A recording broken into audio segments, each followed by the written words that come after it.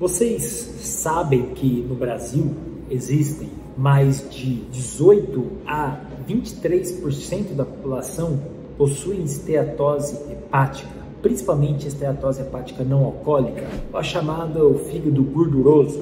Pois bem, se vocês conhecem alguma pessoa que tem esteatose hepática, é, sofre com isso, envie esse vídeo para ajudar as pessoas, inscreva aqui no canal e fique até o final que eu irei citar como e o que você pode comer para melhorar a sua esteatose. Inclusive, eu já tenho um vídeo aqui no canal ah, mostrando algumas dicas que você pode seguir no seu dia a dia. Pois bem, eu sou nutricionista, né, Gustavo Duarte Mentel, e outro ponto que eu gostaria de comentar com vocês é que dessas pessoas que possuem esteatose hepática, o que, que é interessante? Que tem um estudo brasileiro, tá? ele foi publicado, se não me engano, em 2012, e eles, eles observaram o quê?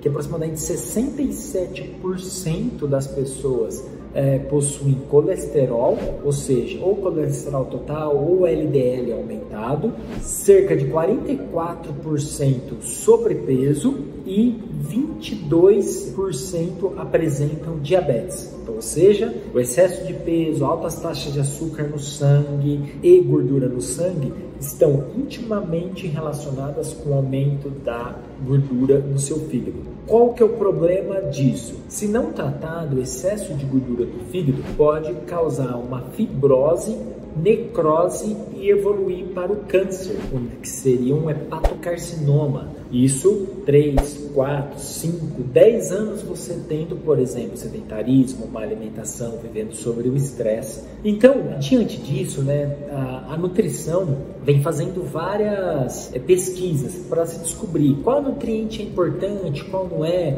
no vídeo que eu citei para vocês, eu falo do ômega 3, da cúrcuma, do resveratrol, do consumo de suco de uva, enfim, consumir aveia. Tem vários alimentos que podem ajudar. Agora, o que pouca gente sabe é que existe um suplemento que ele é bastante consumido, principalmente para a imunidade. Ele é muito consumido para a imunidade, mas pouco se sabe o efeito dele para tratar a esteatose. Este suplemento é o chamado própolis.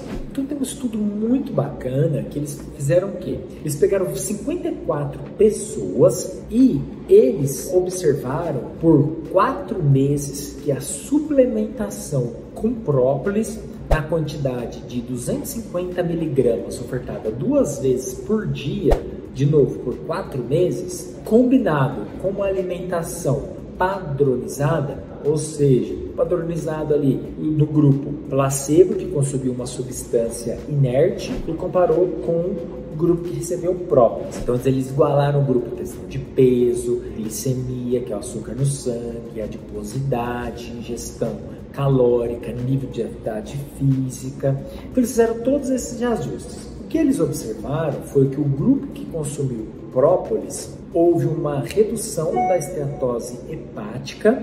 Eles avaliaram por método de, de imagem, observando com que com a espessura do fígado ela foi é, melhorada, isso indicando que as gotículas de gordura, as placas de gordura no fígado ah, foram uh, levemente reduzidas comparado com o grupo que recebeu a substância inerte, placebo. Além disso, que se sabe também que o fígado ele é um importante órgão, né, um reservatório de proteínas inflamatórias. Se vocês não conheciam, existe uma delas chamada ferritina. Ela está associada com um estoque também de ferro, mas ela, quando está muito aumentada, pode indicar um aumento do processo inflamatório ah, gerado pelo fígado, assim como outras moléculas. Por exemplo, existe uma outra além da ferritina que é chamada PCR, que é a proteína C reativa. Essa proteína é uma proteína de fase aguda. O que, que, seria isso? Ela está aumentada em condições agudas. Por exemplo, excesso de exercício no dia anterior, você vai dosar hoje a PCR, pode estar aumentada. Você teve contato com alguém doente, a PCR pode aumentar. Você teve um machucado na unha, como por exemplo, você cortou com a faca a unha, a PCR pode ter uma leve aumentada. Ou seja, condições ah, de pequeno estresse, mas agudo, pode aumentar a proteína C reativa. Por outro lado, como eu falei anteriormente, a ferritina é um marcador também de inflamação, só que ele é mais crônico, tardio. Então, o que eu quero dizer com isso? Se você é um paciente, está assistindo aqui ouvindo esse vídeo, Alguém falou, né, um profissional de saúde, que você é inflamado. Você viu nos seus exames, você tem aumento da ferritina, aumento da proteína C reativa, significa que você tem aumento do processo inflamatório já carregado por um, três, quatro, seis meses, um, dois anos, assim como a PCR indica uma coisa mais aguda, ou seja, que seu sedentarismo, a sua alimentação, o seu estresse pode estar contribuindo também de forma aguda, por exemplo.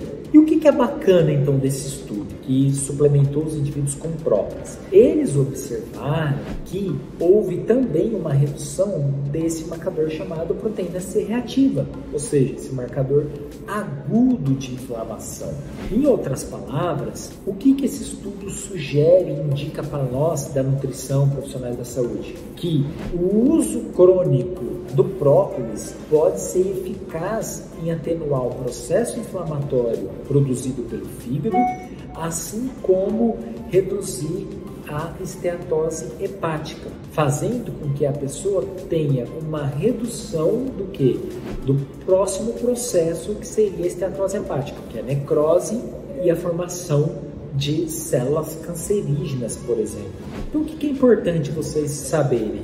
Que como tratar a esteatose hepática é através de uma alimentação saudável, reduzindo saturada, fazendo atividade física, reduzindo carboidratos simples, bolos, sucos prontos, açúcar refinado no café, no chocolate, sorvete, bolacha recheada, fritura, salgadinhos, chips. Então, esses alimentos, combinado também com a bebida alcoólica, que deve ser muito reduzida, ah, parece que excluir esses alimentos do seu dia a dia, da sua prateleira, e fazer o uso de própolis e, e também aumentar o consumo de produtos naturais industrializados, parece que é bem eficaz para reduzir a esteatose hepática. Ah, mas você não pode esquecer também ah, de reduzir o consumo de refrigerantes, porque o consumo de refrigerantes, especialmente aqueles à base de cola, que são os refrigerantes pretos, eles têm grande quantidade de frutose.